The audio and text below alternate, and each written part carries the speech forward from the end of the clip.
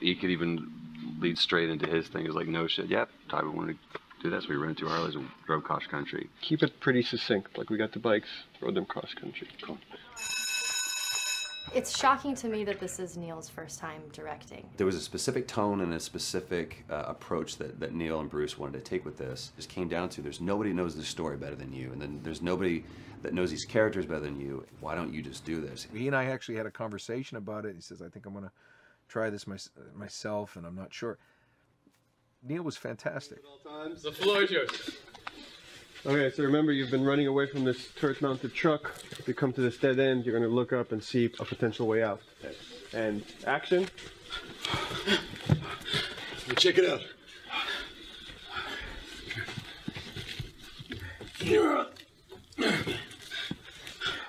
I mean, his writing is honest and it's dangerous and it's natural. And I love his economy of words. He doesn't hit everything on the nose, so it leaves it open for you to interpret and bring some nuances and things like that. The entire process is collaborative, but really it's led by Neil's willingness to change and, and, and flow and decide something doesn't work, you know, fix it right there in the moment.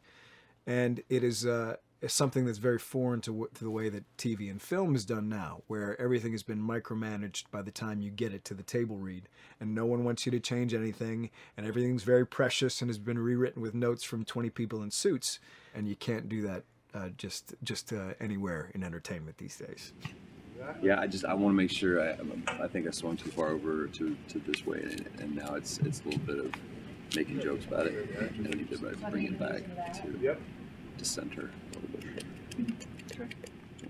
There's one scene in the game where um, we see Joel um, not as a ruthless survivor, but as a father. I knew from the very beginning that he was going to lose his daughter, and uh, I just told Neil, I was like, when that day comes for us to shoot that, I need a heads up. About a week before, he said, it's time. We're going to do that scene. I was like, okay. Because I knew that I, I was going to have to go to this place that, that you don't really want to go to as an actor. You want to find some aspect of reality that you can um, empathetically draw from, you know? Troy and I were both kind of just like walking around for a while and just kind of getting into the to the zone and he and well, my grandpa died when I was 8.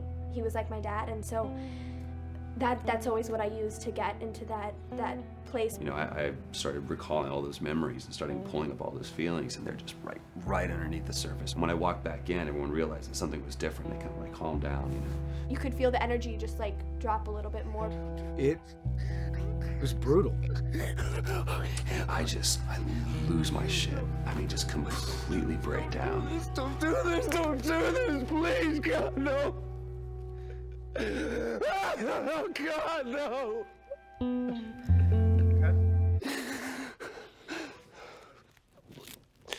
The soundstage was deathly still. It was the first take, and I felt really good about it. And it's like Neil said, "Okay, let's do it again." And so you do it again, and automatically you feel like you're manufacturing because you're trying to go back to that place, and you know you, you're in that actor nightmare of you know trying to get back to that reality. And we go through it again in fifth and sixth and seventh take, and I'm just exhausted. I'm crying between takes, and I'm looking at Neil going, "This is really, really hard." And um, finally, after like the eighth or ninth take, he said, "All right, I think we got it." I was like, "Oh, thank God!" And I went outside, and I was just jacked up for the rest of the day. Just, just, I mean, a wreck emotionally.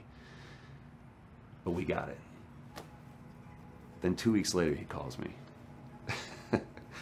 And he says, uh, so we need to reshoot a scene. I'm like, cool, what scene are we doing? And he just looks at me. I said, dude, don't do this to me. And you can either at that moment uh, throw your hands up in the air and say, fuck this, and walk away. Or you can say, okay, this is an opportunity to get it more right. I'm like, okay, all right. If you don't think you got it, I'm going to show you that you got it. We've got it in the can. And so we go through it again, and it just feels fake, feels artificial. And Neil goes, go through it again. Start doing it again. And I'm getting madder and madder with each take. And finally, about the fourth take, Neil comes over to me, and we, I love him so much. He goes, so I'm picking up on some resistance. I was like, you're damn right you're picking up on some resistance. We've got this in the can already, and we're just wasting our time, and we're wasting all this effort and energy. And then he started talking me through the scene. And he was like, what I need you to do is I need you to, to just strip yourself of all these ideas and I need you to hit this beat and this beat and this beat and this beat, which just makes it sound so mechanical and it's such an emotional scene. So we start going through it, and literally, I am mindlessly doing these things at this point. Okay? I know it hurts, baby. I know. So I'm gonna lift you up. I'm gonna lift you up. I'm gonna get you over here. Come on, baby. Come on, work with me, please. God, baby. Sarah. Sarah!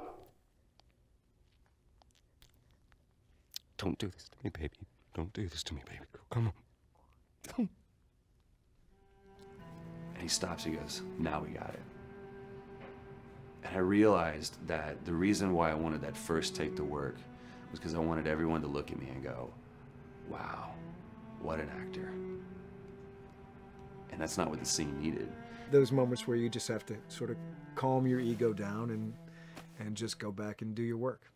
That scene actually works, not because of me, but in spite of me. And that really is the marker and, and definition of working with a true, truly good director. There are many like it, but this one is yours. Why don't you have a seat? Okay.